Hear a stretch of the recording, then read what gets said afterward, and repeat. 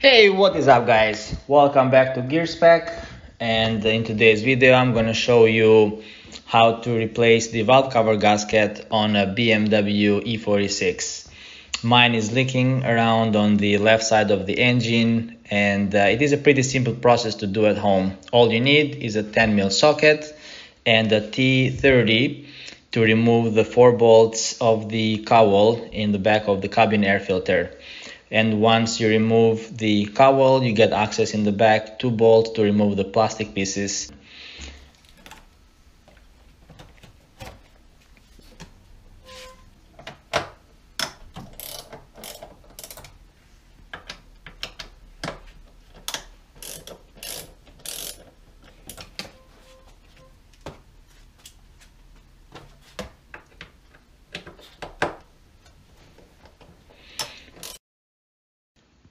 okay and now we can just remove the uh, cables that are connected to the cowl.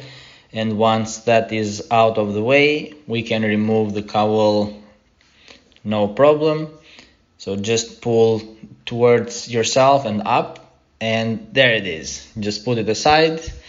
And now we get access to the bolts that uh, are mounted to the on the cover of the engine. So there are four bolts, two on each one of them. Uh, once you remove the 10 mil bolts,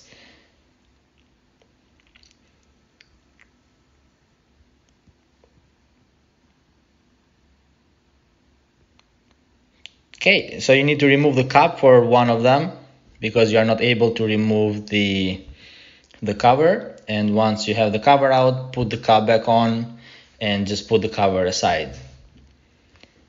Same thing for the other side, just remove it. And now we've got access to remove the 10 mil around the valve cover. So start losing all of them and remove the bolts one by one. It's good to follow the pattern, which I'm not, but at least when you tighten them, you should follow the pattern, which is a crisscross, crisscross pattern.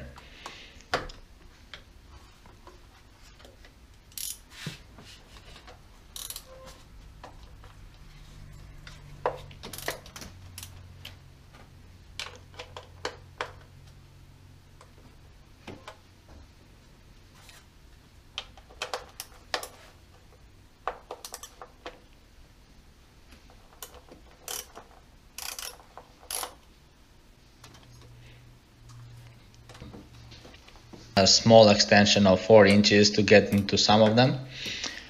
And uh, after that just remove the uh, the coils so nothing is on the way and put them aside. Make sure that you don't mix them up.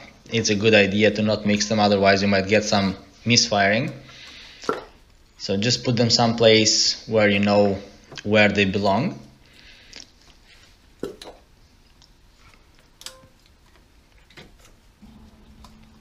Also, don't forget to remove the 10 mil um, in the middle of the valve cover where the ground is connected.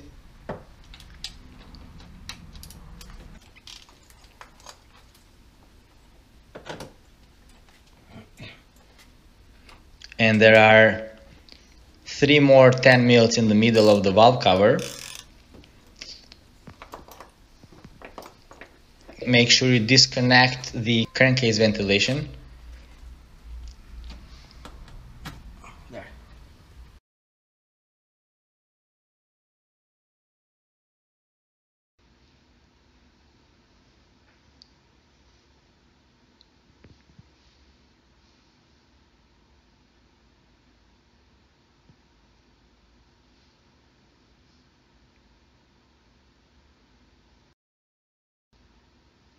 Make sure that all the bolts are out and uh, mine here is just hanging by one of the o-rings in the back is stuck. Anyways nothing else is holding the valve cover. Just be careful there are some cables in the back. Okay and here we have the valve cover out.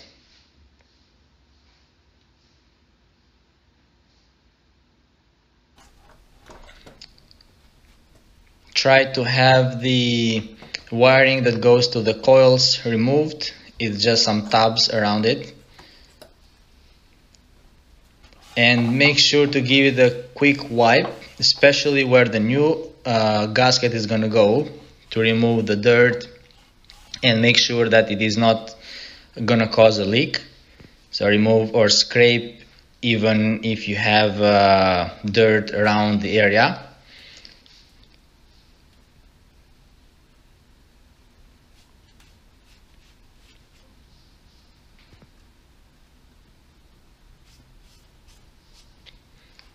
Same thing for the O-rings, where the O-rings go. Give it a quick wipe and then inspect and see if you see anything or if you need to do any more cleaning. My engine looks pretty good and I'm really happy about it actually. It's an important thing. Also, don't forget to clean the uh, inside of the valve cover if there is any dirt or uh, thick oil uh, especially around the the gasket where it's gonna go and make sure that you clean it and wipe it good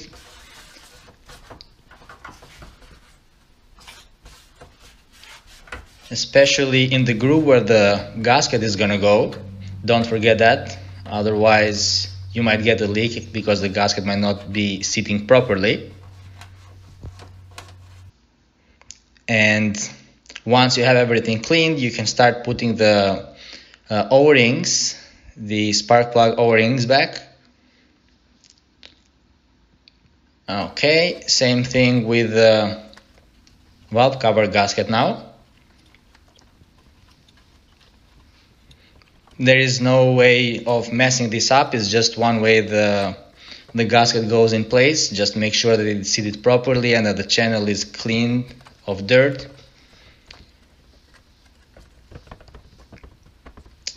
and don't forget to put some uh, uh, high temperature uh, RTV around uh, the edges, the corners of the engine, especially where the grooves are. Uh, it tend to leak there, so it's recommended that you use some uh, high temperature silicone RTV.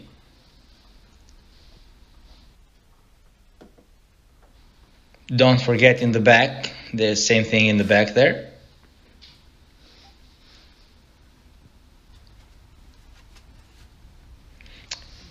and once that is all ready we can put the, the valve cover back in place make sure that the the gasket doesn't slip out or it's mislocated because I can assure you you gotta get a uh, vacuum leak or even oil leak from there and that is not good. So before you start tightening anything inspect and make sure that the gasket is seated correctly.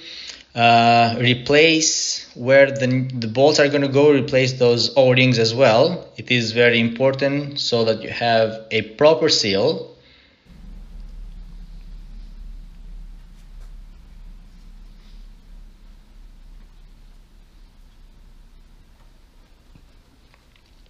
And once you are done with the o-rings we can start putting the nuts all around. And um, we're supposed to tighten them at about 8 newton meter in a crisscross pattern, but I do not have uh, a torque wrench with me here, so I'm just going by hand feel. But it's important to follow the crisscross pattern.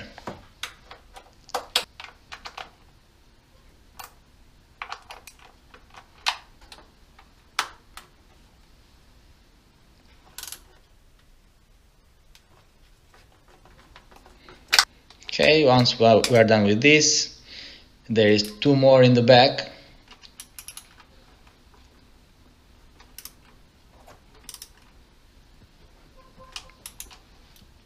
It looks like I'm tightening them too much, but I'm not. And I hope I'm not because I'm not using the, the proper tools.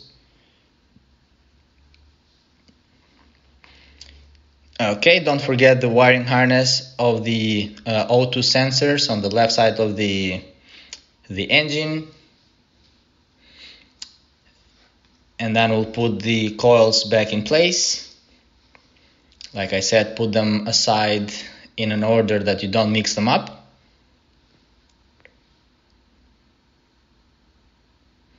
Make sure that they snap in place, otherwise you're gonna get misfiring.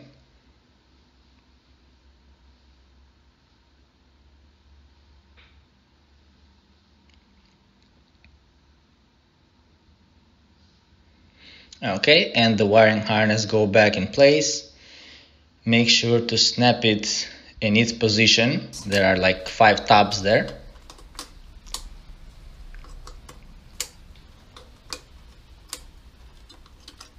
Okay connect each one of the wirings with the coils and make sure that they are seated properly and you hear the snap. And don't forget to connect back the ground strap so that was all to it guys. Uh, I didn't record when I put the cowl back on and the cabin air filter. Before I did that, I did install the cover and the four bolts. I hope you guys enjoyed the video. That's all for today. Thank you very much for watching and I'll catch you guys on the next one.